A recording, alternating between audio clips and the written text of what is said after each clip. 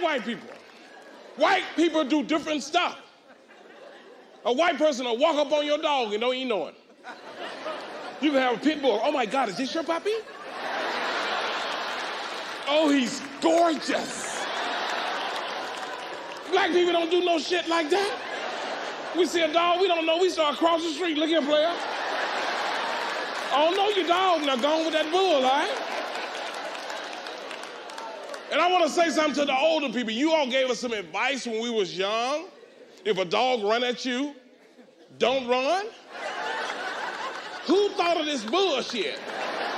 I ran so fast one time, I passed my house. The dog stopped at my door. Damn, don't he live right here? And white people are serious about their animals.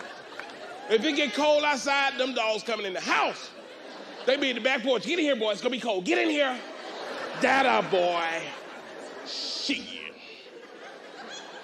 Black people looking out the curtain, man. I sure hope that dog don't freeze out there. It's gonna be cold in the mug out there. Hang in there, boy. Hang in there.